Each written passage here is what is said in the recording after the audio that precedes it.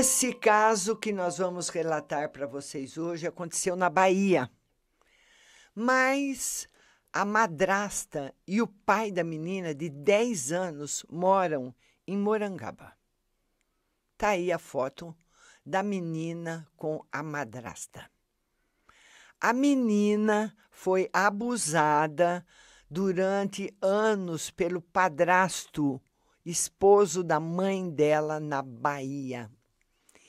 E a, a madrasta com o pai foram até a delegacia de Morangaba para registrar um boletim de ocorrência a respeito desse estupro de vulnerável, suposto estupro de vulnerável.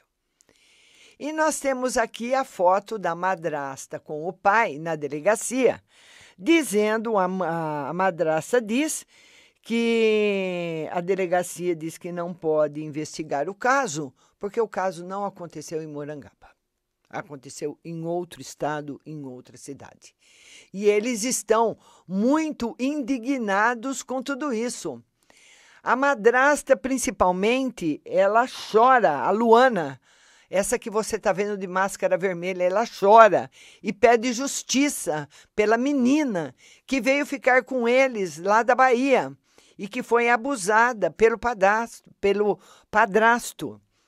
Nós temos aqui também a foto do pai. O pai está muito magoado, muito sentindo, dizendo que, infelizmente, pelas palavras dele, ele vai fazer justiça, talvez de uma outra forma, porque ele disse: a justiça não está sendo feita, nós precisamos ver o que nós podemos fazer em relação a ele, ao homem que estuprou a filha dele. Nós temos aqui também a madraça, de novo, a Luana, indignada, está vivendo ao base de calmante pelo que ela ouviu da filha do marido a menina de 10 anos de idade.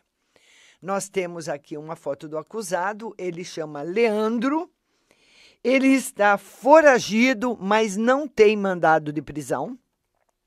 Ele está foragido, temos mais uma foto dele aqui, do Leandro, o abusador, o suspeito do abuso. Mais uma foto dele aqui. E a mãe da menina é essa moça, ela chama Cássia.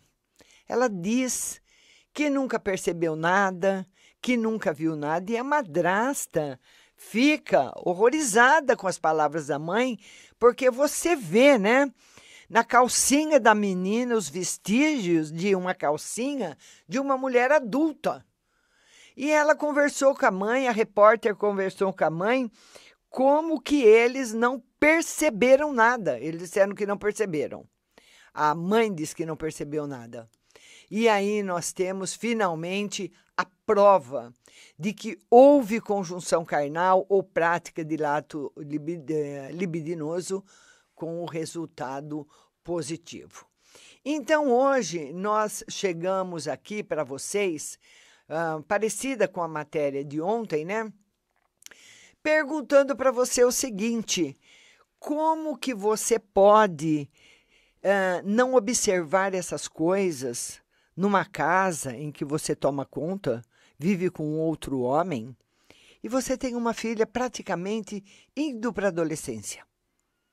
E você não percebe nada do comportamento da menina, nas calcinhas que você lava, no, no seu companheiro. Olha, eu digo sempre para vocês: nós precisamos tomar muito cuidado com quem nós colocamos dentro da nossa casa. Ou você mora sozinha, ou você mora com uma filha, ou mora com um filho.